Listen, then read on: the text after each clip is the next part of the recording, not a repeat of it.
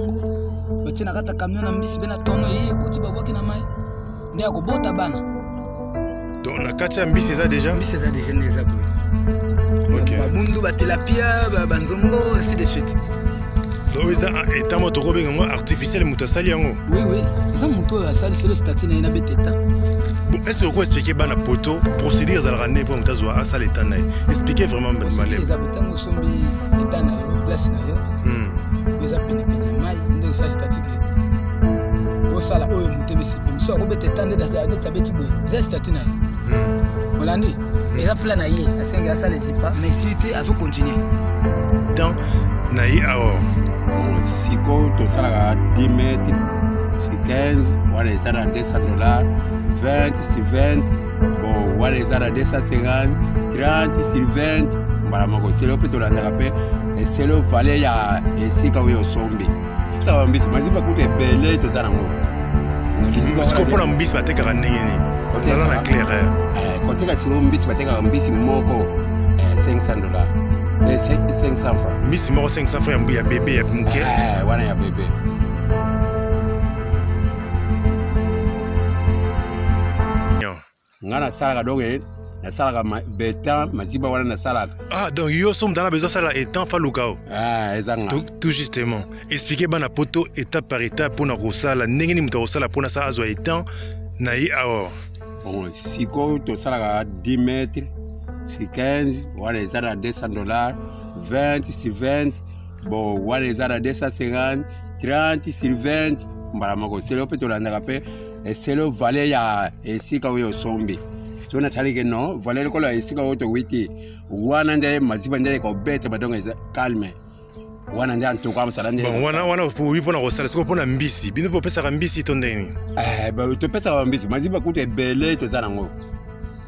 sikoyo mpo na mbisi batekaka ndenge nini ozala na claire eh, koteka sikoyo mbisi batekaka mbisi moko 500 eh, dollar 500 eh, franc mbisi moko 500 franc ya bebe ya moke wana ya bebe bamosusu mpe bazoteka na bakilo hmm. ah, me ya kilo nde yango nanu namoni te me koyokaka ah, mais je pense que mbisi moko mwana moko ya mbisi 500 abosaka kufa mateki wana eza cher te moto so asomba ofa sombela yango wapi awa kaka awa tosomba awa mpe tokosomba awa tokosomba maziba oza na limero ya telefone ya bandeko yo oza na telefone parce que so moto nga benga osala ndeni bongo sikoyo naza nango te bon eh, tokozwaka contact na ye esika avandi soki oza na besoin na yango nini ocontacte biso tokopisa na contact kombo olobi nani kombo nanga fali pupa ah, ah, fali pupa ah, maître bosalela biso akapela mwa ya fali mpo toyeba koza fali ipupa ah. beta boko mwa ya fali ya pupa toyoka koseka te beta akapela moko ya fali ipupa tondimaki ah, fali na wana sikoyo ngai nazwi kombo wana ndonge na ndenge moko ya kiyangi ya kibote to nini eh, parce que oza eh, bo kibote te oboni baniveau mosusu donge tala kaka donge bamakambo ezoleka oyembaka na yo te oyembaka te nayembaka me beta tali parce que baolanda yo sala ata vocal moko ya fali ipupa de bayoka yo te beta bao moko ya fali toyoka yo bota bao ya fali oyebi te eh? voilà tokocontacte yo mpo na baetan mbote na bino mbote na bino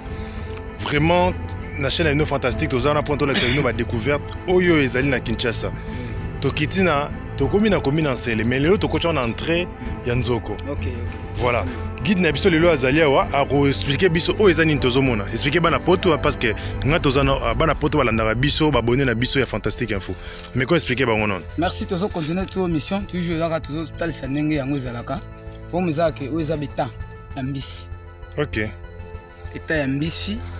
batiaka yango depuis 6 mois 7 mois 8 mois une année mpe ofongoli eta na yo okotondisa kaka mbisi plein selo lolenge mbisi otie oyo ebotaka mingi bon okotondisa mbisi yango sikoyo basombaka bana to ndenge basombaka yango kaka explique vraiment étape par étape mbisi basomba yango okosomba mpe na ebale na fleuve baye nango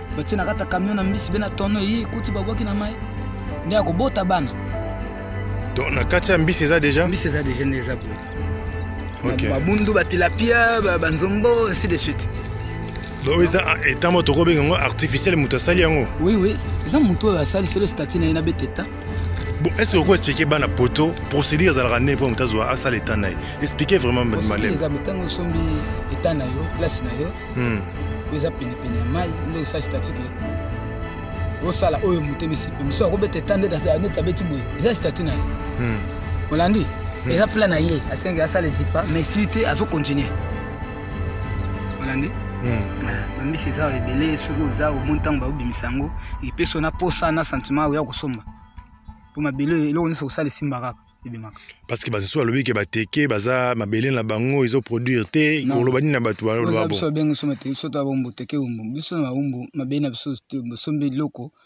eproduiraka bato parce que soki topusani liboso komona baagent batie bamakemba babiloko ya ndenge na ndenge ezobota mbayo azalaki awa je crois à côté de kimpolo alo na babiloko ya ndenge na ndenge ezoproduire bamaki ebima bapula ye biloko tu bangombe si de suite hmm. awa eloko oyo euh, ezanga koresi te eza te nyonso osala eresi parce que totekaka na motema malamu mpo tosomba obénéficie merci mingi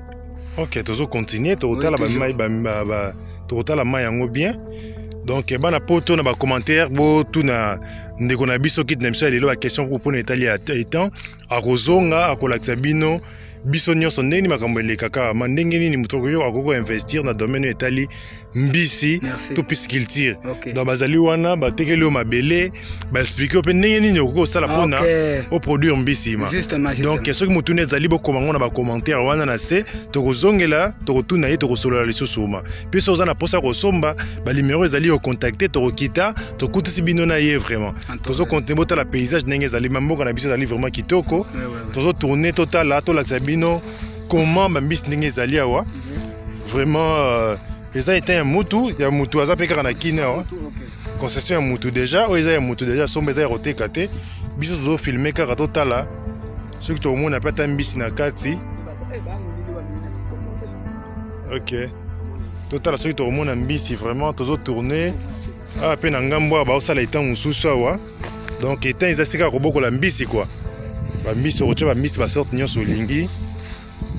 yango awa donc nayebi te soki na kamera bambisi yango ezomonana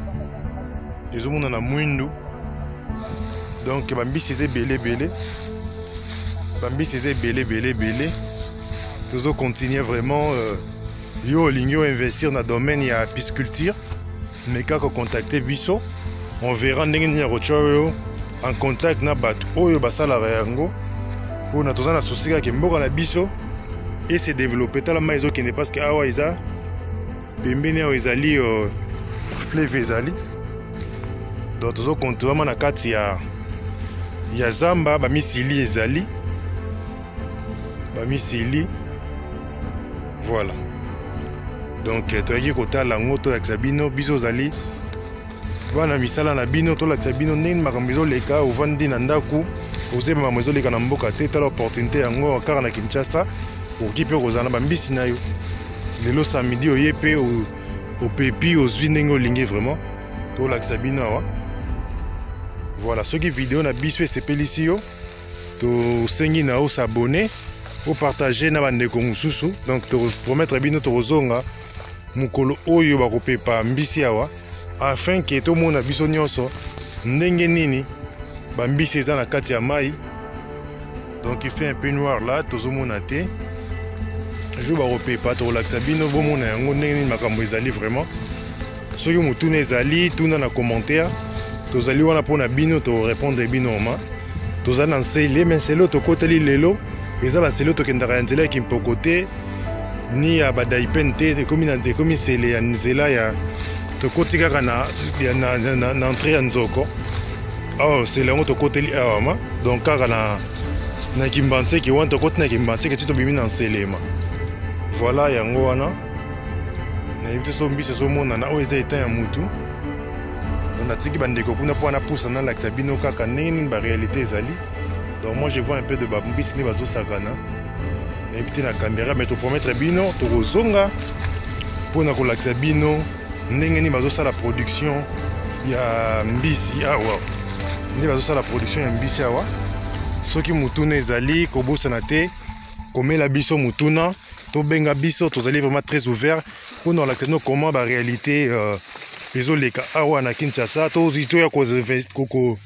koinvestir na mboka na biso eza très important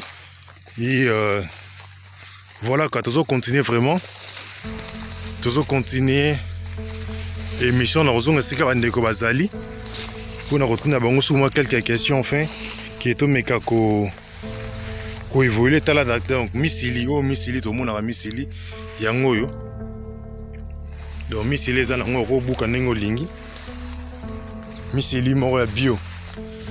voilà tozo continuer soki mbala na ya liboso ya kotala video na biso tosengi na yo vraiment osabone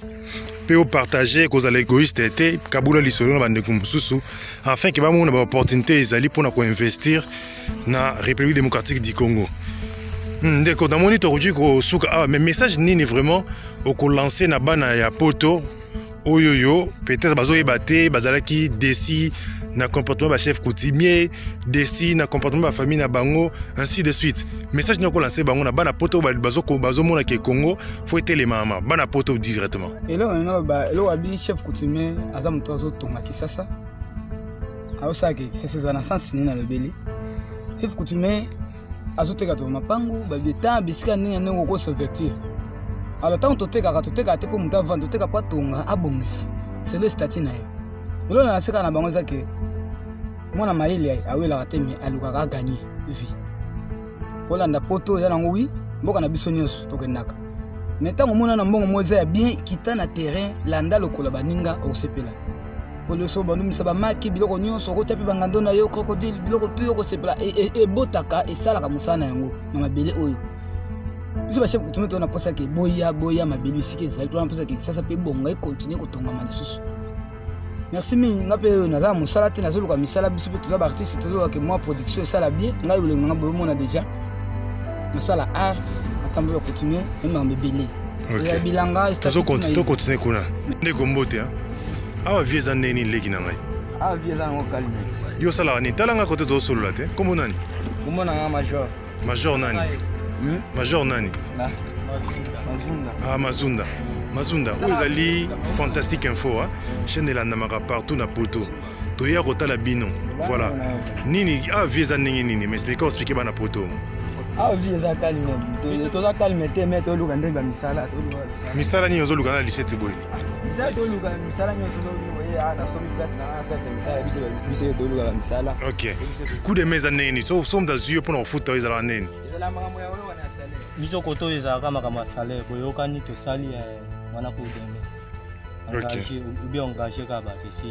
ok ça va tozwa numéro na bino mpo topesa baza bana poto bazotuna bino mingi eh, tokontacte bino kima te boyaka kaka koto mpo esengaka soki ozoya bando mwa mpe misala oyo ezosalama esalama ok c'est bon tocontinue voyage na biso